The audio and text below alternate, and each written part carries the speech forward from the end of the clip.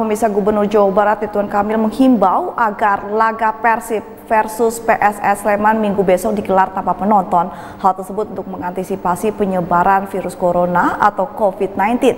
Tidak hanya laga tersebut, pemirsa pihaknya pun sedang mengkaji pelaksanaan kegiatan lainnya yang mengundang massa seperti Lala Fest di Cikole Lembang hingga pengajian agar penyebaran COVID-19 bisa diantisipasi tanpa mengganggu perekonomian Jawa Barat.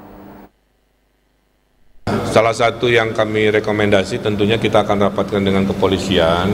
Uh, belum bisa saya jawab sekarang, tapi kalau boleh menyarankan potensi yang besar seperti itu dihindari bahkan kan di liga-liga di Eropa pun pertandingan tetap dilaksanakan tapi tanpa penonton cukup nobar di rumah masing-masing atau di tempat uh, itu dalam uh, satu dua hari ini tentunya kita akan ambil keputusan yang yang baik.